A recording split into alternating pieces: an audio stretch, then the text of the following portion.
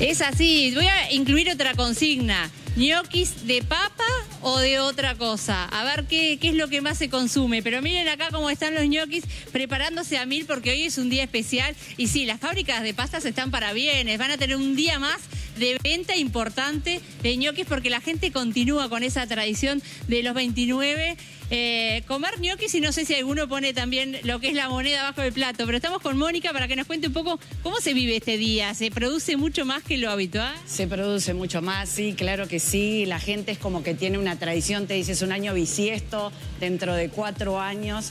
Nosotros lo que decimos, ¿no? Hoy debajo del plato, la plata, pero hoy la gente tiene una tradición que realmente hoy la sigue. ¿Y, se cuánto más se, se, produce hoy, un día 29, con respecto a lo que es habitual? Y nosotros, por ejemplo, de repente hoy vamos a vender más o menos unos 500 kilos más de lo que vendemos normalmente. Es así. ¿Se hace de papa y de otros también? De papa son todos. Lo que hacemos somos diferentes sabores. Se hace de calabaza, de albahaca, de zanahoria, se hace de morrón, se hacen multicolores. Pero bueno, la tradición es el de yema, pero todos son de papa. Desde el estudio Magdalena tiene una consulta. A ver, Maggie, te escucho, sí.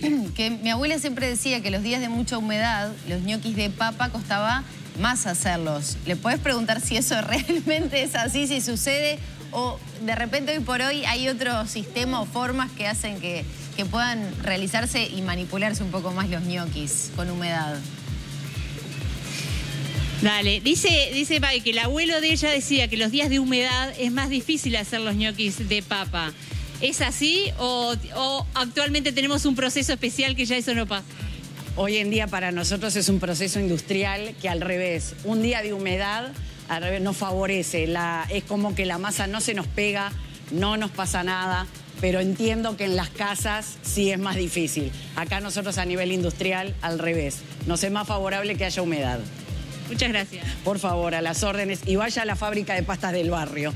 Ya bien, gracias, gracias. Bueno, día ideal para comer ñoquis. Mi hijo cumple un 29 de septiembre y la comida favorita es ñoquis, porque cumple el 29, así lo dice él. Así que varios de que los que están cumpliendo hoy también tal vez pase lo mismo. Ahora vuelvo con ustedes.